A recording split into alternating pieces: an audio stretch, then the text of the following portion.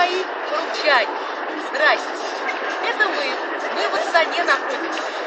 Короче говоря, что хочу сказать. Хочу поздравить вас всех с наступающим Новым годом.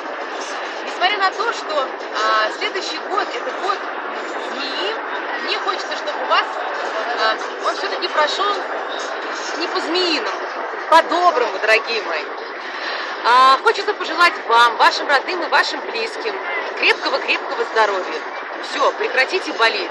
Всем, короче говоря, всем здоровый образ жизни вести, бросать курить, пить, становиться вегетарианцами. Ну вот. А, что еще хочется сказать, дорогие мои?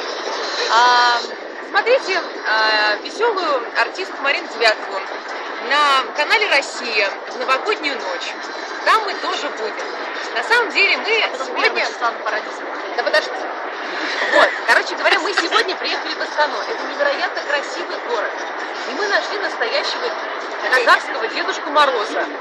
Вот. А я как Снегурочка, исполняющая обязанность российская Снегурочка, вот, собственно говоря, практически с коллегой сижу.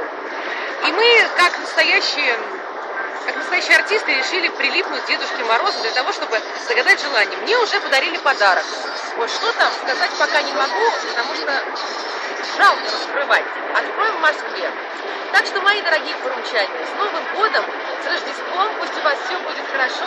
Я вас очень люблю.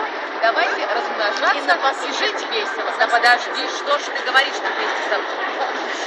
А, давайте жить дружно. А теперь песня. В лесу родилась елочка, в лесу она росла.